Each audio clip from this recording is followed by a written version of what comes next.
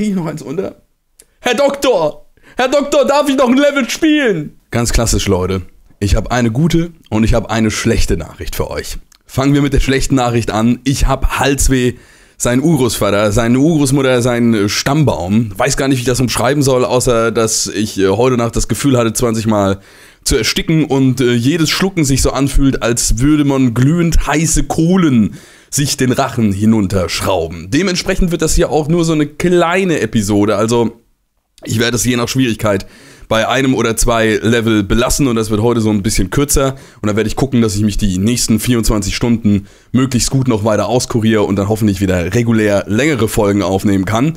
Denn, und das kann ich zumindest schon mal für nächste Woche so ein bisschen grob ankündigen, und das habe ich ja auch schon in der letzten Zuschauerfolge angekündigt, ich muss ganz schön aufholen. Ne? Also ich bin levelmäßig immer noch bei dem 30.06.2019 und äh, jeden Tag kommen neue Level hinzu, also wäre es vielleicht mal so an der Zeit zu gucken, hier und da vielleicht mal hm, noch mehr Episoden rauszuknüppeln. Kommen wir aber zu der eigentlichen guten Nachricht und auch dem Grund, warum ich jetzt nicht äh, länger warten kann, hier weiter aufzunehmen, abseits davon, dass ich natürlich eine Folge bringen möchte und euch nicht äh, zu lange warten lassen will.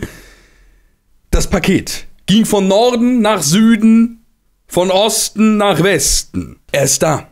Der Pro-Controller ist endlich da. Ich bin diesem Paket hinterhergerannt wie ein äh, ja, notgeiles Kanickel, möchte ich mal so umschreiben. Und jetzt ist er endlich am Start. Ich habe bisher, falls ihr das noch nicht wusstet, jede Episode und jedes Level in Super Mario Maker 2 mit den Joy-Cons in der Joy-Con-Halterung gespielt. Und ich habe den hier schon mal bei einem Kollegen beim Easy betatschen dürfen.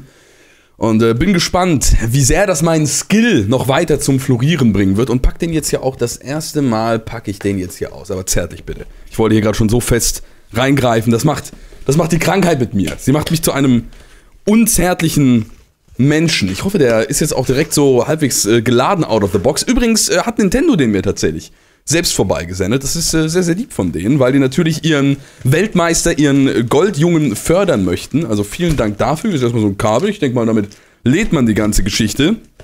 Und hier ist der eigentliche Controller. Oh, guck mal hier. Mm. Ich werde direkt wieder, ich werde gesund. Nur dadurch. Hier. Da ist er. Damit werde ich jetzt ab sofort meine Level regeln. Ich wollte hier noch ein bisschen näher ran, weil das ja so ein schönes ASMR-Geräusch ist eigentlich. Viel mehr ist da äh, eigentlich auch nicht drin. Ich glaube, noch nie hat jemand so cool eine Verpackung weggeworfen. Ich bin auch verschnupft tatsächlich gleichzeitig. Jetzt ist wirklich, also ich hoffe, es äh, passt für euch halbwegs trotzdem von meiner Stimme. Sie ist dafür vielleicht noch etwas tiefer, als das sonst der Fall ist. So, zack, kommen wir mal reingesteckt hier mit dem, mit dem Oschi und dann gehe ich mal rüber zur Switch.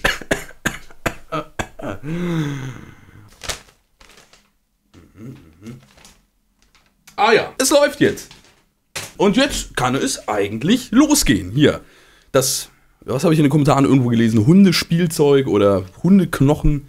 So äh, beschreiben das manche. Ich finde eigentlich, damit lässt sich gar nicht so schlecht spielen. Aber wenn man natürlich das Maximum aus seinem Skill rausholen möchte, ich glaube, dann ist das hier allein wegen den äh, Joysticks und wegen eben einem deutlich besseren D-Pad sehr sinnvoll.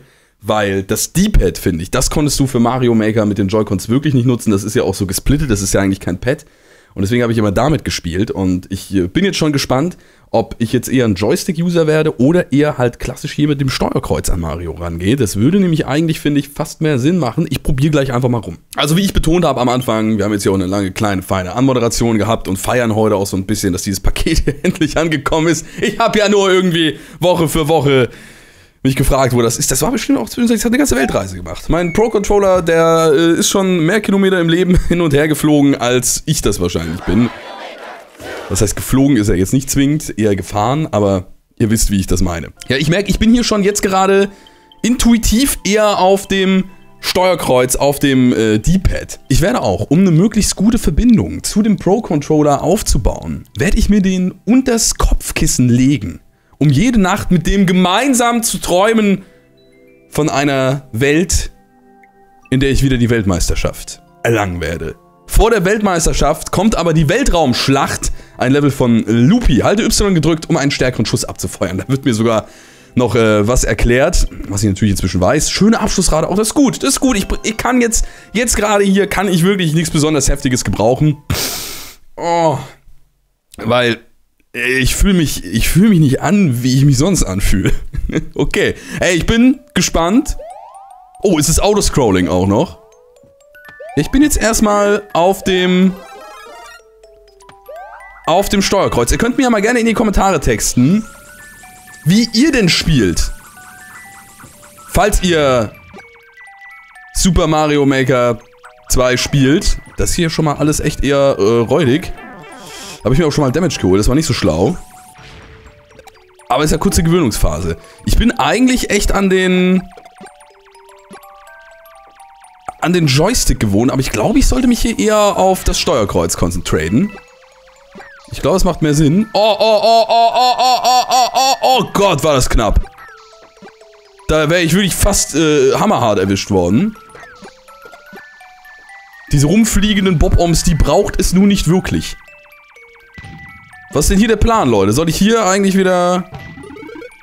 Ich schnapp mir erstmal den Pilz und ich bleibe einfach mal fliegend. Hammerbrüder sind auch mit bei. Erinnert jetzt wirklich an so ein klassisches äh, Shoot'em-Up-Level, ne? In dem man halt so ein bisschen rumfliegt, Dir kann ich irgendwie gar nicht platt machen. Die Schlingel hier verfolgt mich jetzt auch direkt was. Kann man natürlich trotzdem easy plätten, solange man... Ai, ai, ai, ai, ai, ai, ai, ai.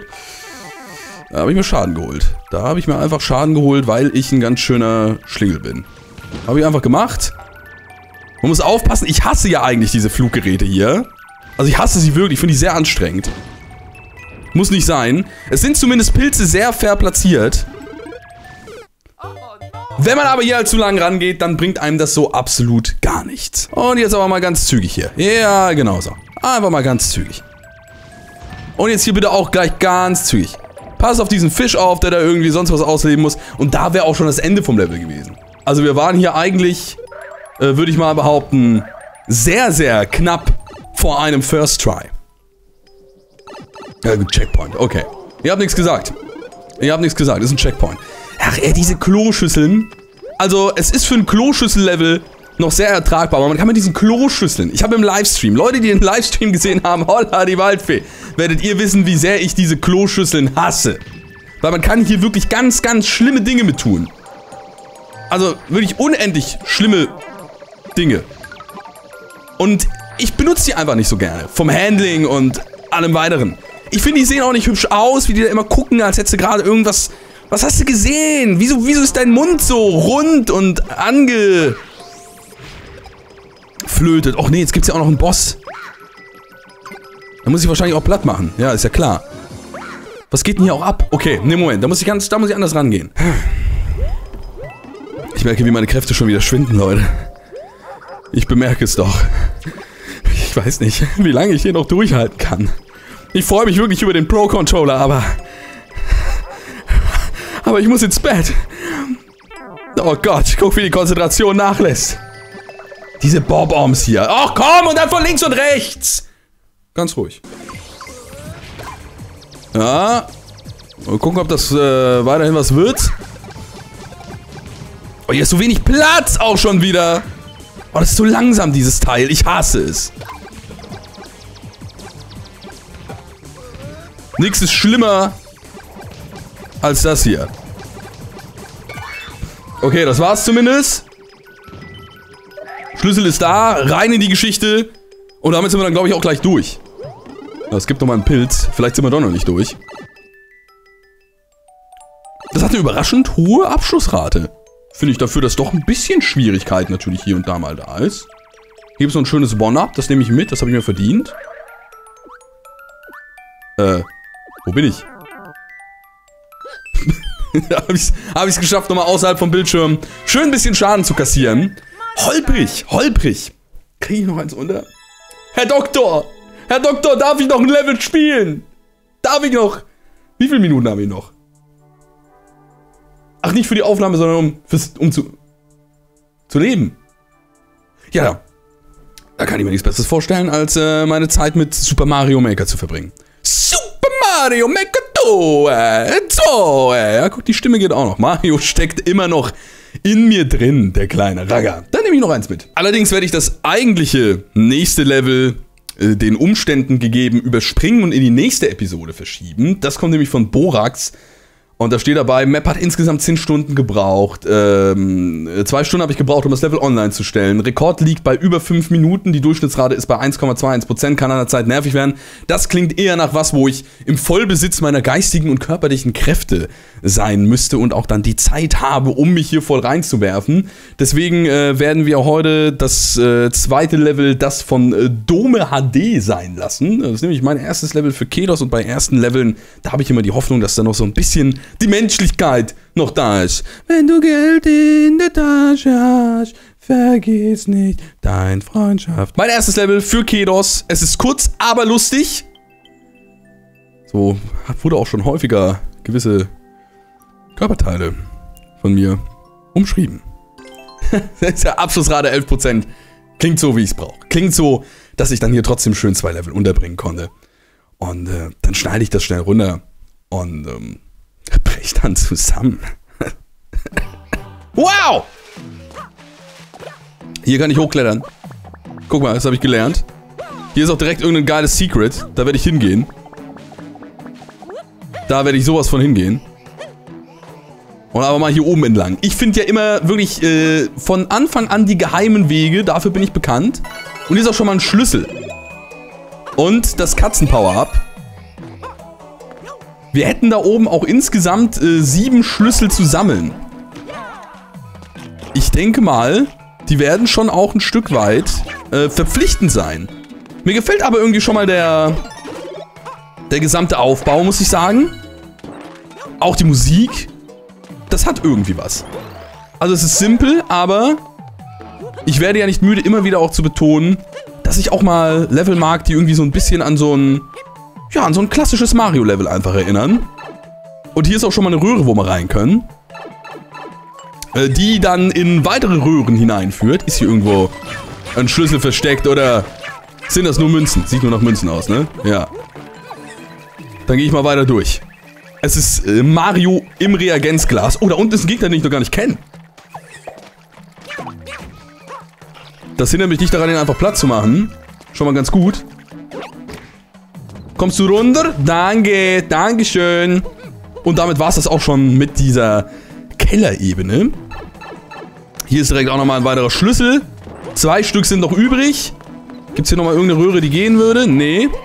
Ich weiß nicht, ob wir die Karre brauchen. Ich nehme sie mal mit.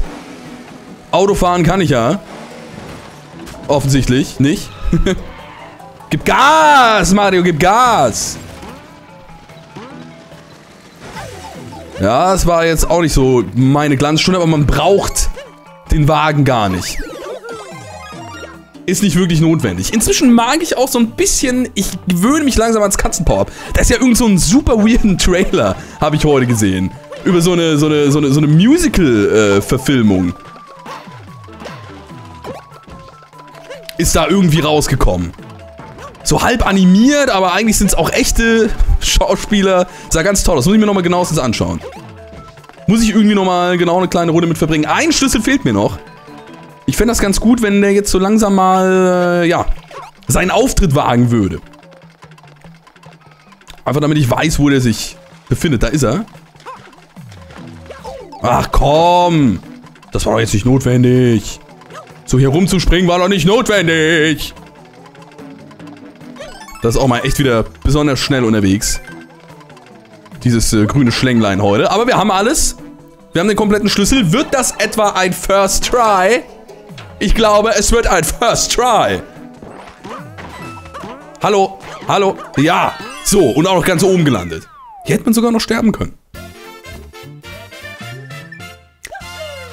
Ja, leider kein Mario Time. Ich hatte mich schon darauf eingestellt, es äh, voller Inbrunst mit hinaus zu brüllen. Das war doch einfach mal genau das, was ich hier gebraucht habe als Abschluss für diese etwas schnellere, kürzere, etwas kränklichere Episode. Aber wir können uns alle sehr gemeinsam über dieses Baby hier freuen, denn das äh, wird hoffentlich nochmal dafür sorgen, dass ich nochmal 5% äh, besser spielen kann. Und wenn wir das jetzt allgemein vergleichen, ich spiele schon so bei in etwa 100%, wenn der ganze Rest irgendwie bei so 50% ist, das ist jetzt eine Rechnung, die müsst ihr nicht konkret verstehen, dann bin ich also bei 105%, das heißt noch 5% besser als der beste Spieler bei 100%. Und da ich ja damals auch schon der beste Spieler war, bin ich dann nochmal 5% besser als mein vorheriges Ich, also der beste Spieler.